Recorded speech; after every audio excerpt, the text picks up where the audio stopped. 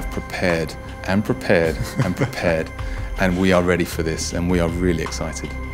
Good luck.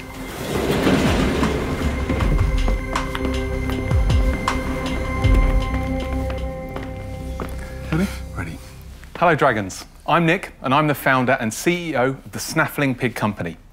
I'm here today with my business partner and marketing director, Andy. Hello.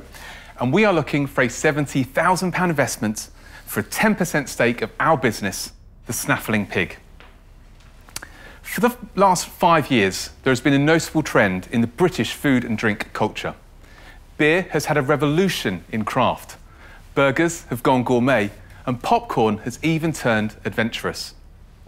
All of these familiar favourites have been refreshed with skill and passion and now see a much wider audience as a result. Yet, there is one humble but very awesome snack that has remained firmly in the shadows. Dragons, it's time for our pig reveal. We present to you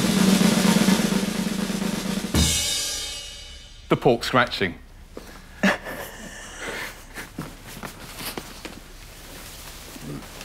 For over 250 years, this cheeky indulgence of a snack has been loved by so very many people, but has remained completely and utterly unchanged. So we set out two years ago to take this little piggy to markets he's never been before. Now, to make that pig vision a reality, we set about tackling some of the key challenges we felt the market typically faced. First, there's the nature of the product itself. We often hear people are worried about breaking their teeth, and others seem to half expect to find a nipple in a bag of scratchings. So we only take prime cuts of pork, which we then double cook. Secondly, there was a lack of variation, so we developed a range of 11 flavours. And finally, this little piggy had an image problem. So we set about creating a range of innovative formats to the pub market, through to a range of gifting jars, and even wedding favours. It turns out he's quite a versatile swine. The pork scratching market is worth 40 million a year. So, with our innovative brands, we fully expect to take this business to a 6.9 million pound turnover with a 630,000 pound net profit within the next 3 years. Dragons, we would love you to be part of our venture and together, let's make the pig and magic happen. Thank you. A pitch with gusto from less than diffident duo Nick Coleman and Andrew Allen. So we've got black pepper. Lovely. They're offering 10% of their snack business in return for £70,000. Um, we do have ghost chili flavoured and we'll knock your socks off. I love the hot one. But- but- Is it really hot? Yes, it's, it's super hot. Oh my god. Yeah, you might want some milk. Okay, okay. Water. Okay. Multimillionaire Nick Jenkins has already taken one very big piggy to market with his Moon Pig greetings card empire. That is hot. That is hot. Will he have the appetite to add to his portfolio? Wow. Okay. Okay. Now, now you know, I, obviously, I, I have a natural preference for the, all things porcine. Um, how how did you get into this?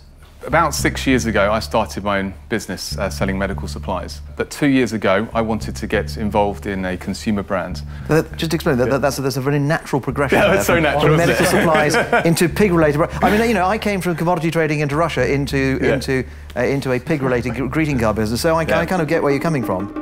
Uh, guys, I love pork scratchings. Oh.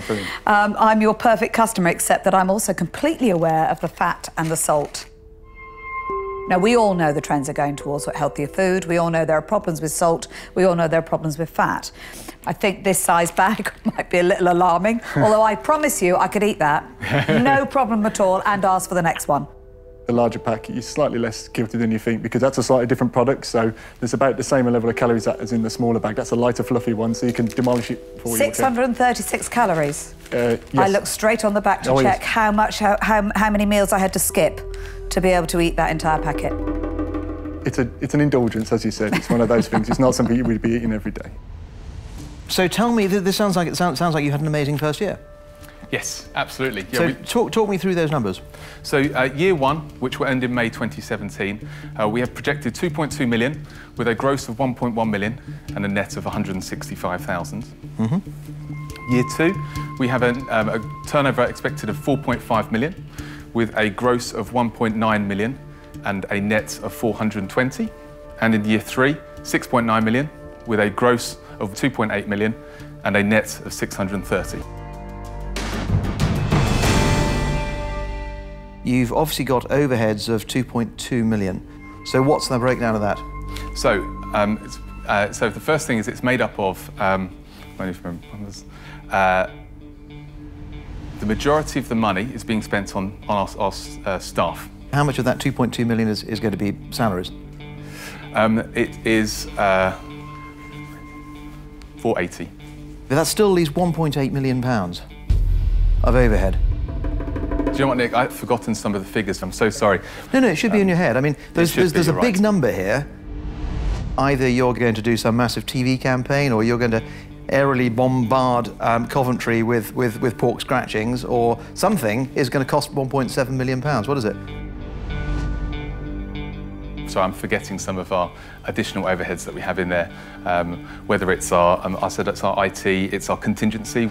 Um, there is obviously advertising um, and, and, PR. That was just a little bit, a little bit vague. Um, anyway, that's not terribly good. The once confident entrepreneurs have floundered over their figures, and in the den, that can be a recipe for disaster. It was the calorie count that Deborah Meaden took issue with, but could she still pick the piggy pair for investment? Don't look at me with a lot of hope in your eyes. Sorry. Uh, because I don't want to do it. I've decided that, you know, I work with organic, I work with healthy, I move towards that end of the market, and this just isn't going to sit with me. You've done some fantastic stuff here, and it might be the oddest reason in the world, but sometimes it just doesn't fit. So um, I won't be investing. I'm out. I've done something similar in terms of uh, that came into the den. It's popcorn related. Um, I've certainly gone through that whole journey um, for, for several years, and it was really exciting. And at the start, we did really well. And then we found that there was some very serious competition that came into the marketplace. The price really moved, and almost overnight took the rug from under the business. I'm concerned because I think that your margins will come under pressure as you scale the business. The, the market's in growth, 13% year on year. Um, so we're going to come under some pressure. That's why we've pushed so hard on the branded jars and those. And we've done particularly well with Not on the High Street. Um, we were Yeah. their fastest growing uh, food and drink partner last year. We're going to be featured heavily for Father's Day. Um, and for Christmas, and we're working on the advent calendar you see at the end there. It does answer a gift for a difficult to buy man. You know, pigs might fly, but I can't see you're going to get there. I really can't, and I think, sadly, I think it's going to hit that plateau. So I'm going to say that I'm out. Peter Jones walks away, concerned over the scalability of the business. Nick Jenkins is the last dragon standing. Will he be the one to save their bacon? Look, I- I'm going to make you an offer.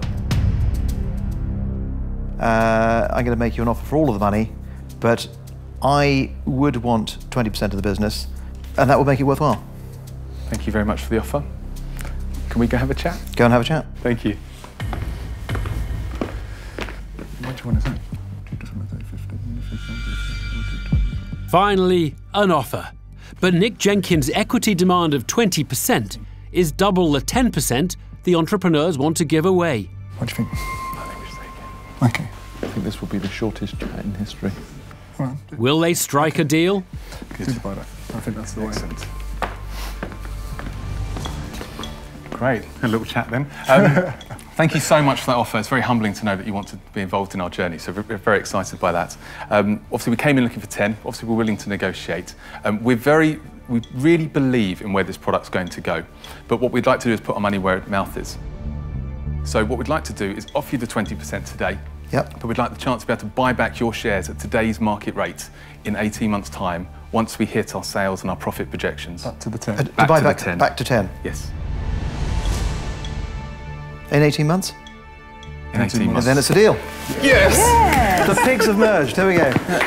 The pork scratching entrepreneurs have done it. Fantastic. They've given away 20% of their business, but with a buyback agreement that will potentially see Nick Jenkins' stake drop to 10% in 18 months' time. Thank you so much. Uh, That's brilliant. Thank you. Well, fantastic. fantastic. You're two chuff little piglets, aren't you? This little piggy has gone to market.